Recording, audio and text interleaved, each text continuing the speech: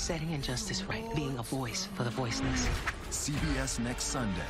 Something really bad is about to happen. Won't be equalizing anymore. It's over. A new Equalizer next Sunday on CBS. Jimmy Smits in East New York. New next on CBS.